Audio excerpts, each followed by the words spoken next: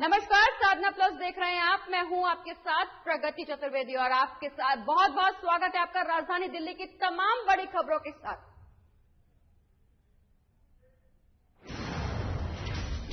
Professor doctor Ravi Prakash बने अध्यक्ष professor Trinidad के आर्य प्रतिनिधि सभा अध्यक्ष निधि बधाई। कहा, डॉक्टर रवि के साथ वैदिक शिक्षाओं को बढ़ाएँगे आगे। दिल्ली मेट्रो की सभी लाइनों पर भीड़ से मिलेगी राहत, ब्लू, रेड, येलो की सभी ट्रेनों को आठ कोच का करेगी डीएमआरसी डीएमआरसी ने संख्या बढ़ाने के लिए मंगवाए 120 कोच। दिल्ली पुलिस कोरोना पर हुई और सख्त कोरोना के निर्देश को पालन नहीं करने पर काटे चलान। दिल्ली में कई रेस्टोरेंट और होटल के मालिक पर एफआईआर दर्ज। दिल्ली में कोरोना के बाद अब डेंगू और मलेरिया ने पसारे पैर। दिल्ली के हॉस्पिटल्स में डेंगू के चौदह और मलेरिया के पाँच केसेस आए सामने।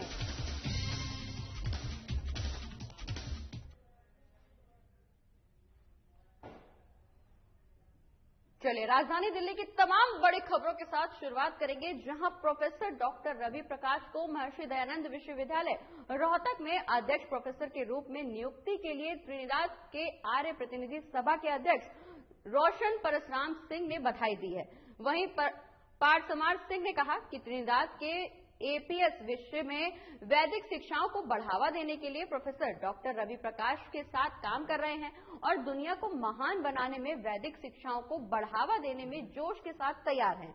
इसी के साथ पारस राम सिंह ने कहा कि उन्होंने डॉक्टर रवि प्रकाश पर पूरा भरोसा और विश्वास जताया है कि वो अच्छा काम करेंगे। इस मौके पर पारस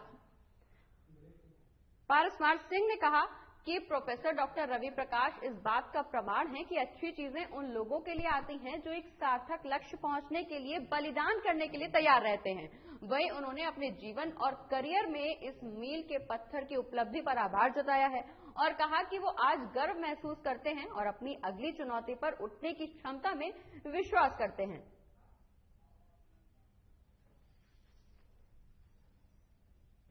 बहुत ही प्रसन्नता की हम सब के लिए बात है कि महर्षि दयानंद विश्वविद्यालय में महर्षि दयानंद की विचारधारा और उनकी फिलॉसफी पर रिसर्च करने के लिए और उसको पूरे विश्व स्तर पर प्रचारित, प्रसारित करने के लिए दयानंद चेयर स्थापित हुई है यूजीसी की ओर से। तो ये बहुत ही स्वागत योग्य और प्रसन्नता का विषय है। दूसरी बात, इसमें जो डॉक्टर रवि प्रकाश जी को के तौर पे वहाँ पर चुना गया है तो ये और भी अधिक प्रसन्नता और और भी अधिक गर्व की बात है कि एक ऐसे विद्वान का चयन हुआ है, जिनकी महर्षि दयानंद की जो विचारधारा है, उस पर बहुत एक प्रकार से गहन अध्ययन है, गहन रिसर्च है। पहले ही डॉक्टर रवि प्रकाश जी ने ऋषि दयानंद जिस बात को सबसे अधिक मानते थे, उनकी मान्यता थी बैक टू दी वेदाज, वेदों की ओर ऋषि दयानंद वेद को पूरी दुनिया की समस्त समस्याओं के समाधान के रूप में देखते थे। वेद को सबसे अधिक प्रामाणिक ज्ञान और विज्ञान मानते थे। वेद को ईश्वर की वाणी मानते थे। सब सत्य विद्याओं का एक प्रकार से भंडार वेद को वो मानते थे। ऐसे महर्षि दयानंद की पीठ में वेदों का जो वास्तविक स्वरूप है, जिसमें ज्ञान और विज्ञान है उसको पूरी दुनिया के सामने रिसर्च के माध्यम से प्रस्तुत करने का जो कार्य और जो क्षमता डॉक्टर रवि प्रकाश जी में है, मैं समझता हूँ कि उससे न केवल वेदों को, बल्कि महर्षि दयानंद सरस्वती को भी और प्राचीन भारतीय वैदिक संस्कृति को भी पूरी दुनिया के अंदर एक विशेष पहचान मिलेगी। आज सबसे पहले ये भी हम लोगों को सौभाग्य प्राप्त हुआ।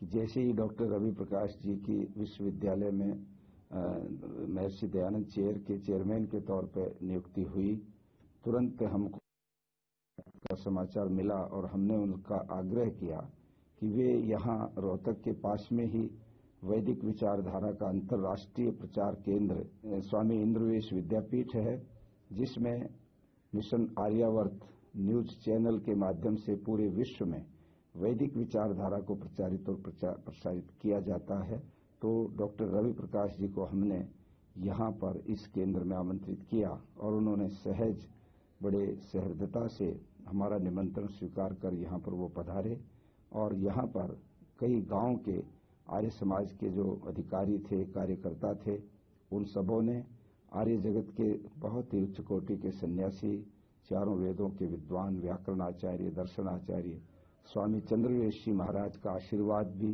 डॉक्टर रवि प्रकाश जी को प्राप्त हुआ। मैं चाहता हूँ कि दयानंद चेयर पे जो हमारा प्राचीन भारतीय ज्ञान विज्ञान है, जैसा कि महर्षि दयानंद ने कहा था कि वेद सब सत्य विद्याओं का पुस्तक है तो वो जो सब सत्य विद्याएँ हैं, उन पे हम रिसर्च करेंगे कि किस प्रकार से भारत में ज्ञान विज्ञान पल्लवित हुआ और सारी दुनिया में वहाँ से फैला। दूसरे हम कुछ छोटे छोटे कोर्सेज चलाना चाहते हैं कि जो विद्यार्थी मेन स्ट्रीम्स में पढ़ते हैं, उनकी अगर अपनी विधा में प्राचीन भारत के ज्ञान से के संबंध में जानकारी प्राप्त करने की रुचि है तो उनको वह ज्ञान दिया जाए। क्योंकि एक तो रिसर्च वर्क जो शोध करना चाहते हैं, उनको हम जोड़ेंगे। दूसरा लेक्चर्स ताकि विद्यार्थियों को अपने पास्ट से प्रेम हो, वो उससे जुड़ने की कोशिश करें कि हमारा पास्ट जो है, भूत है, इतना गंदा नहीं है जिस प्रकार से उसको प्रोजेक्ट किया गया और दूसरे, हम उसमें सेमिनार कराएँगे। एक ongoing seminar on Veda and Vedic sciences ongoing seminar का मतलब है, हर समय कोई भी विद्वान आएगा, उसमें लेक्चर होते रहेंगे। बड़े बड़े कॉन्फ्रेंस और सेमिनार की बजाय साथ साथ ये भी हम कराना चाहते हैं। महर्षि दयानंद की ये जो पीठ है, बनाई हुई है, ये यूजीसी के द्वारा आई है। इसका इसका पूरा समय सात वर्ष का है। तो सात वर्ष के बाद ये शायद फिर खत्म भी हो जाएगी, या कोई एक्सटेंशन मिले तो अलग बात है। तो ये एक एक विशेष कुछ प्रावधान है यूजीसी के नियमों में, उसके तहत इस पीठ को लाया गया है। तो इस पीठ में यही पेट भरने की शिक्षा न देके जो आत्मा का भोजन है, उसकी भी शिक्षा होनी चाहिए। क्योंकि हमारे यहाँ तो आत्महत्या का अर्थ है, जो आत्मा का भोजन नहीं खिलाता अपने आप को, वो आत्महत्या रहा है। इस पीठ में जो आत्मा का भोजन है, जो मन का भोजन चाहिए, हम वो भोजन परोसने की कोशिश करेंगे। संस्कार की, संस्कृति की शिक्षा भी आवश्यक है। हाँ। तो मेरे को बड़ा अच्छा लगता है, क्योंकि आर्य समाज के लोग बड़े भारत की संस्कृति और भारत की सभ्यता प्रा, प्रारंभ से ही बहुत ज़्यादा उसके बारे में जागरूक हैं और स्वामी श्रद्धानंद से लेकर के स्कूलों की कॉलेजों की स्थापना हुई गुरुकुलों की स्थापना आज के अंदर इस देश के अंदर जितने भी अच्छे अभियान चले वो सारे आर्य समाज ने चलाए। और इस देश की आज़ादी में जो भाग लेने वाले लोग थे उसमें 80 प्रतिशत लोग आर्य समाज से प्रभावित थे। तो ऐसे समाज के जो वरिष्ठ जन हैं, उनसे अगर मेरा कोई सम्मान होता तो वो मेरे लिए सचमुच ही गौरव की बात है। बढ़ते हैं आगे। जहाँ दिल्ली के मुख्यमंत्री अरविंद केजरीवाल ने हरियाणा के जींद में किसान महापंचायत को संबोधित किया। वहीं किसानों को संबोधित करते हुए केजरीवाल ने केंद्र और हरियाणा सरकार पर जमकर निशाना साधा है। इस दौरान मुख्यमंत्री केजरीवाल ने कहा कि किसानों ने चक्का जाम किया है। और आम आदमी पार्टी किसानों के संघर्ष में उनका समर्थन करती रहेगी। वहीं पंजाब और हरियाणा के किसानों ने दिल्ली कूच किया था तो हरियाणा सरकार ने जगह जगह पर आँसू गैस के गोले छोड़े और बैरियर लगा दिए। साथ ही किसान आंदोलन में कई लोगों को अपनी जान भी गंवानी पड़ी। आपको बता दें कि आम आदमी पार्टी ने कृषि कानून को लेकर लगातार केंद्र सरकार के खिलाफ शुरू से ही मोर्चा खोल रखा है। साथ ही मुख्यमंत्री केजरीवाल ने आम आदमी पार्टी की सरकार को परेशान करने के लिए संसद में पास विधेयक पर भी बात की है।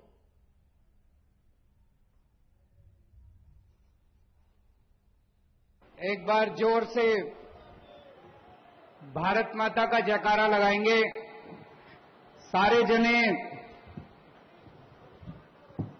पूरे दिल से मुट्ठी बंद करके हाथ ऊपर करके ज़ोर से बोलेंगे, भारत माता की, इनकलाब इनकलाब, वंदे वंदे। हरियाणा के कोने कोने से आए हुए मेरे भाइयों, बहनों माताओं, बुज़ुर्गों, बच्चों, आप सब लोगों को अपने भाई, अपने बेटे का नमस्कार, सबको मेरा प्रणाम। सबसे पहले तो मैं उन 300 से ज़्यादा शहीदों को नमन करता हूँ। अभी हमने उनको यहाँ पे श्रद्धांजलि दी। लेकिन पूरे देश की तरफ़ से उन 300 लोगों की शहादत को नमन करता हूँ, जिन्होंने किसानों के लिए संघर्ष करते करते खुशी खुशी अपनी जान गंवा दी। अब हमारी ज़िम्मेदारी है, पूरे देश की ज़िम्मेदारी है, आपकी ज़िम्मेदारी है, मेरी ज़िम्मेदारी है। उनकी शहादत बेकार नहीं होनी चाहिए अब। अंत तक लड़ना है। लड़ोगे? अंत तक लड़ना है उनकी शहादत बेकार नहीं होनी चाहिए। अभी पता चला, कल रोहतक में इन्होंने किसानों पर लाठी चार्ज कर दिया। ये बड़ी गलत बात है। जिस देश के अंदर किसानों का सम्मान नहीं है, वो देश कभी प्रगति नहीं कर सकता। किसानों का साथ देना चाहिए सरकारों को कि किसानों के ऊपर लाठीचार्ज करना चाहिए। हम कड़ी निंदा करते हैं इसकी, और आज पूरे हरियाणा में बता रहे हैं किसानों ने चक्का जाम कर रखा है। हम किसानों के इस संघर्ष का समर्थन करते हैं। मैं अभी जब आया, मेरे को भी काफ़ी टाइम लग गया, कई जगह से मेरे को घूम के आना पड़ा, लेकिन मेरे को कोई तकलीफ़ नहीं है। अभी मेरे को पता चला है, कई सारी बसें, कई सारे लोग जो आज यहाँ सभा में आना चाहते थे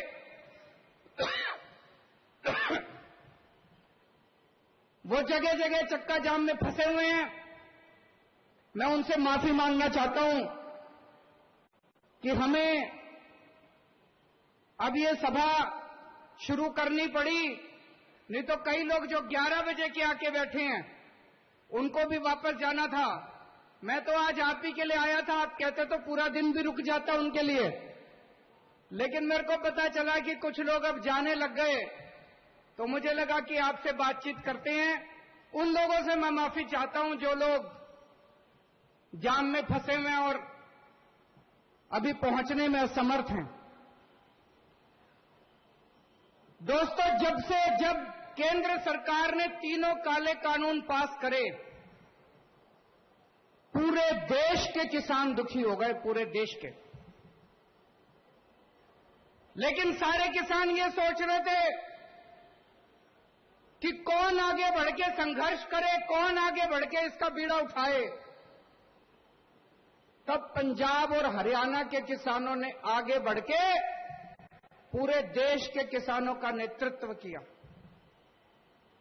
अभी थोड़े दिन में पंजाब होके आया। पंजाब में भी किसान महापंचायत करी। पंजाब के किसानों का धन्यवाद करके आया। आज मैं हरियाणा में आया हूँ।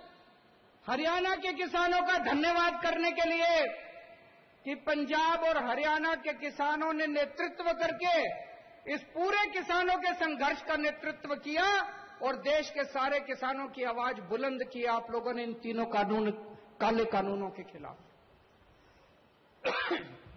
सारा देश आपके साथ है। ये मीडिया वाले दिखाएँ ना दिखाएँ, चिंता मत करना। कोई कुछ भी कहे, चिंता मत करना। मैं तो आम आदमी से जुड़ा हुआ हूँ। सारा देश आपके साथ है, सारे देश के किसान आपके साथ हैं। हो सकता है गुजरात का किसान दिल्ली के बॉर्डर पे ना पहुँच पाए। हो सकता है तमिलनाडु का किसान दिल्ली के बॉर्डर पे ना पहुँच पाए। हो सकता है असम का किसान दिल्ली के बॉर्डर पे ना पहुँच पाए। पर यह मत सोचना कि वो किसान आपके साथ नहीं है। रोज सवेरे इस देश का हर किसान दिल्ली के बॉर्डर के ऊपर बैठे हुए किसान के लिए प्रार्थना करता है, दुआ करता है कि हमारे संघर्ष में ये, हमारा ये संघर्ष सफल होना चाहिए।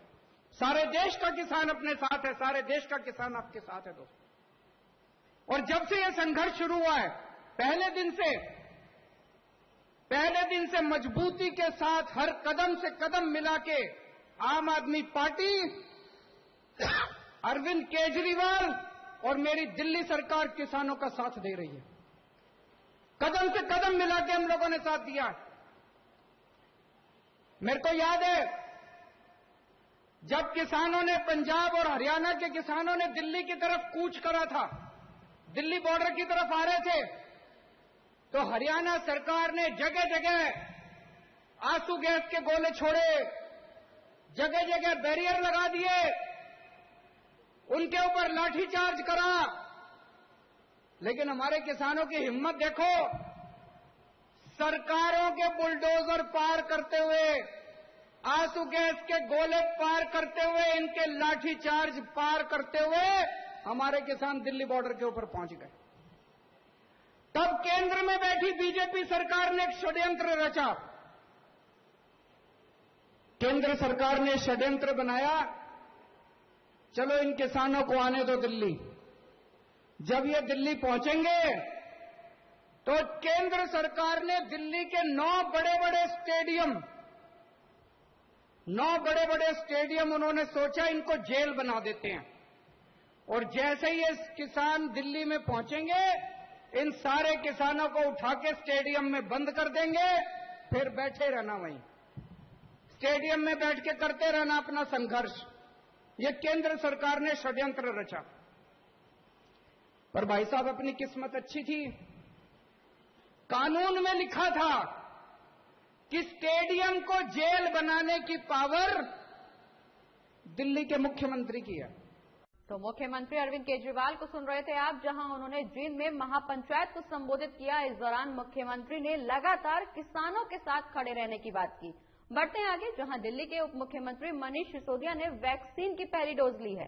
बता दें कि मनीष सिसोदिया ने लोक जननायक जयप्रकाश नारायण हॉस्पिटल में ये वैक्सीन लगवाई। इसके साथ ही राजधानी में लॉकडाउन की बात पर मनीष सिसोदिया ने कहा कि कोरोना को रोकने के लिए लॉकडाउन की ज़रूरत नहीं है। उन्होंने कहा कि कोरोना के खिलाफ लड़ाई में वैक्सीन और सावधानी की ज़रूरत है। इसके अलावा उन्होंने ये भी कहा कि आज अपने परिवार के साथ कोरोना वैक्सीन लगवाई है। हमारे प्रतिभावान वैज्ञानिकों और मेडिकल टीम और सभी को शुक्रिया जिन्होंने हमारे लिए वैक्सीन बनाने में दिन रात मेहनत की।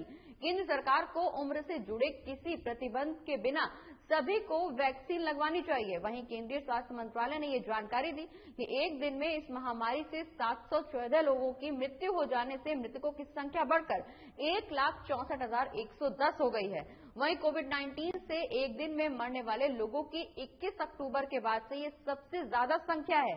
बता दें कि पिछले साल 20 सितंबर के बाद से शनिवार को आए संक्रमण के नए मामले सबसे अधिक हैं। तब 24 घंटे में बयानवे नए मामले आए थे।